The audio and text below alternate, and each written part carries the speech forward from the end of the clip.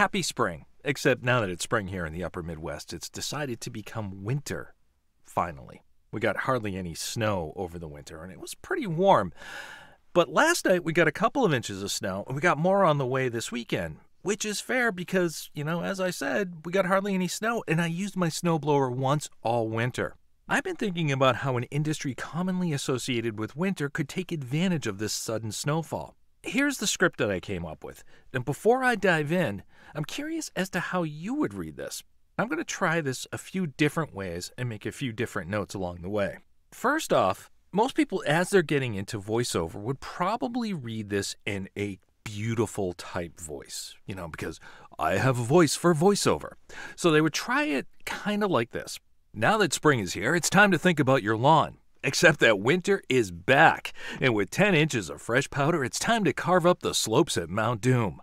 We're offering a special season extender lift ticket that offers unlimited skiing on all our ski trails until the snow is gone. Because you know, it's spring, and we won't be making any more snow. So hop online and get your Mount Doom season extender lift ticket today while the snow lasts. And there's nothing inherently wrong with that but I don't think it actually fulfills what the script itself is asking for.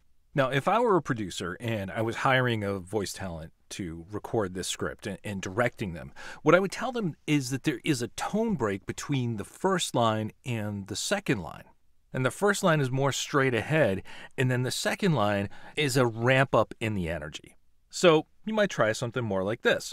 Now that spring is here, it's time to think about your lawn. Except that winter is back, baby, and with 10 inches of fresh powder, it's time to carve up the slopes at Mount Doom.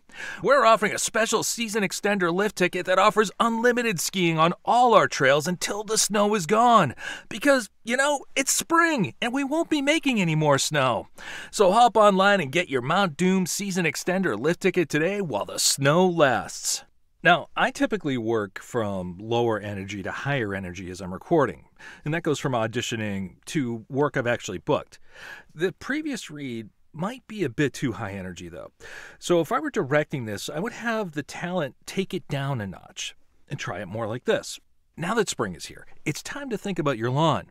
Except that winter is back, baby, and with 10 inches of fresh powder, it's time to carve up the slopes at Mount Doom. We're offering a special season extender lift ticket that offers unlimited skiing on all our ski trails until the snow is gone.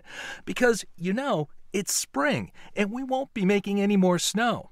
So hop online and get your Mount Doom season extender lift ticket today while the snow lasts. Now, listening to that, I don't know that I would actually hire myself to do this script. My voice tends to be a little too clean.